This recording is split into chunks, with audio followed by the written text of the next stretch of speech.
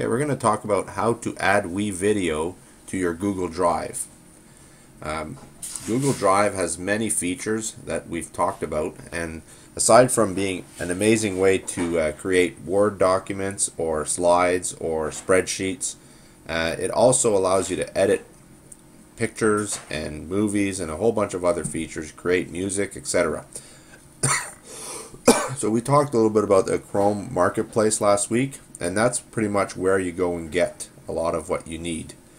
Um, you can add some of those apps right in uh, your Google Drive. So currently I'm logged into my Google Apps as you can tell and I'm logged into Drive as you can see right here. So I click on create and uh, you'll notice I don't see WeVideo so I need to add it. So I click on more, connect more apps.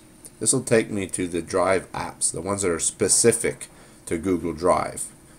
And you'll notice there are just tons of them. This is a really neat one. Create music, uh, create photos.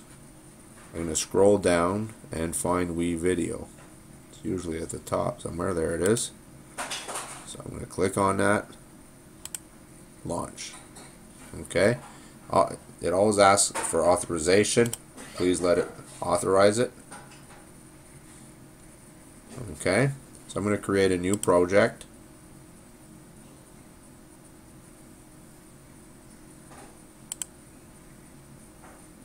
I'll give it a name.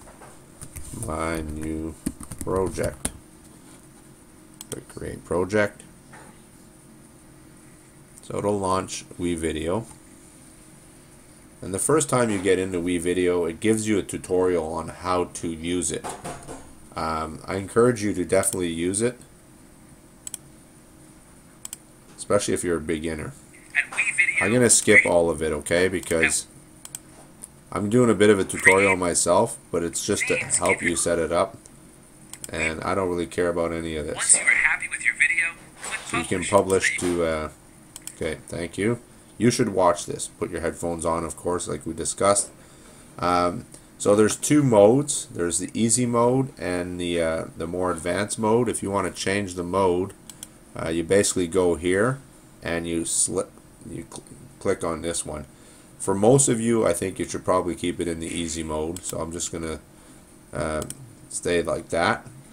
Uh, it's pretty important that you um, upload your if you upload only to WeVideo, I really encourage you to save and check before you close anything.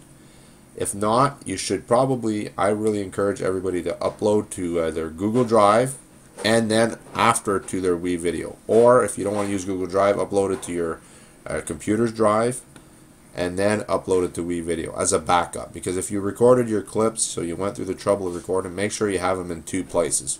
WeVideo is free, but it's sometimes glitchy. All right.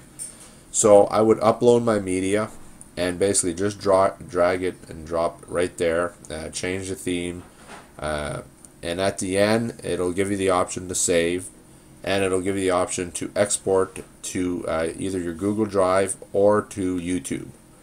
Um, probably safer to export it to your YouTube. We've had a few glitches in class in the past.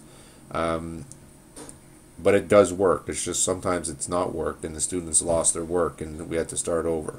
So that's why I'm giving you that advice. So that that's the basic instructions on how to use WeVideo. I'm available obviously to uh, for help and for uh, tips on how to use it more advanced. Okay, thank you very much.